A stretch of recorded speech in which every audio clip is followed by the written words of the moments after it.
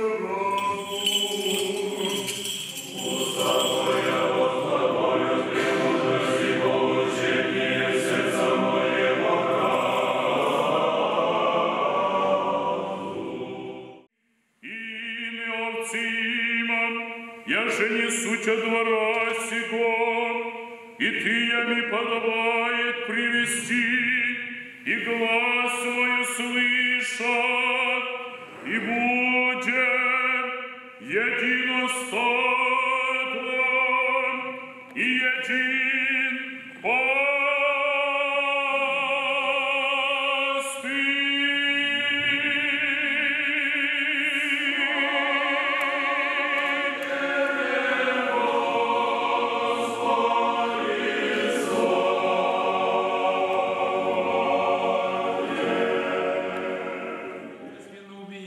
Страдания и стязания претерпевших, и знание и заключение горькую смерть приемших, и же имена Ты сам, Господи, веси, и всех только скончавшихся прав, Отец, братья и сестер наших, Христе Боже наш, и Тебе славу высылаем с безначальным Отцем, и пресвятым и благим и животворящим Твоим Духом, ныне и присно и во веки веков.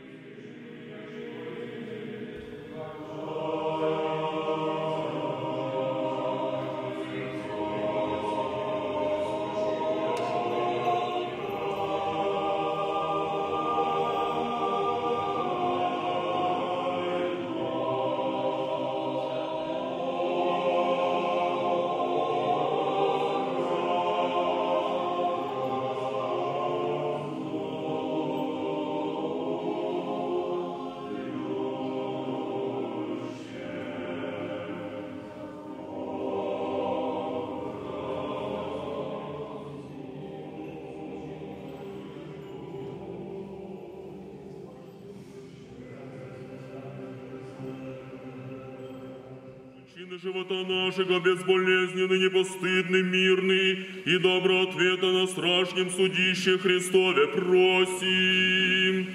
благодатью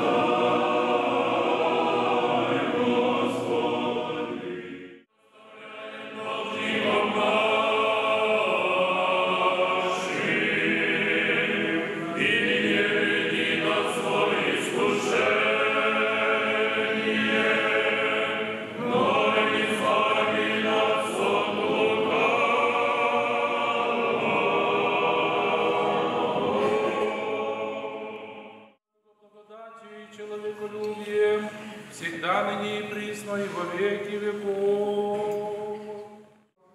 Мужем трудолюбия наставник, старым незлобия учитель, иноком воздержания правила, молящимся вождь, от Бога вдохновенный, мудрости ищущим, ума просветитель, витиям доброглаголевым, слова живого источник неисчерпаемый, благотворящим милосердия звезда, начальствующим правление мудрого образ. Всех вас поздравляю с сегодняшним праздником. Мы молимся, чтобы хоть чего-то от жизни святителя Иоанна Златоуста мы получили. Когда, имея такие великие дарования, достигнув такого высокого положения в церковной жизни и в общественной жизни, для него важнее была правда и истина. Не ища компромиссов, хотя, что казалось бы, разумный человек должен был найти компромисс той ситуации, в него сложилась в отношении с императрицей. Но для него важен был Христос и важна истина Христова. Вот это, невзирая ни на что, ни на те опасности, но чтобы так поступить, нужно быть глубоко верующим человеком, который предает всю свою жизнь в руки Божьи. Вот эти удивительные слова, с которыми он закончил свою жизнь, дай Бог, чтобы и мы с вами, что бы с нами ни происходило, не происходило, смогли не в озлоблении проклинать кого-то, а с на милость Божию и на самого Бога сказать. Слава Богу за все. С праздником всех! Сегодня также, Ваше Высокопресвященство, личная ваша дата, э, годовщина вашей архиерейской хератонии, которая, безусловно, и не случайно по промыслу Божьему совпала с днем памяти святителя Иоанна Златоуста. Дорогой Владыка, пусть святитель Иоанн Златоуст, в день памяти которого вы получили архиерейскую хератонию, поддерживает, укрепляет и направляет вас.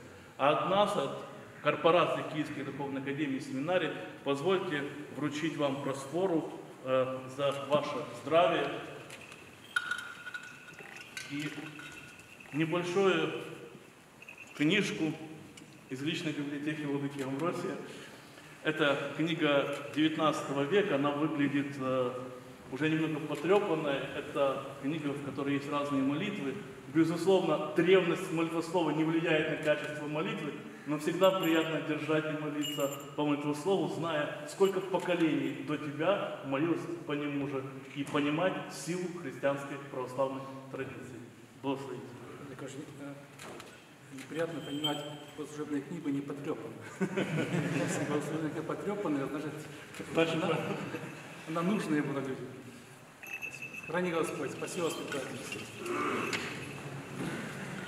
Господь.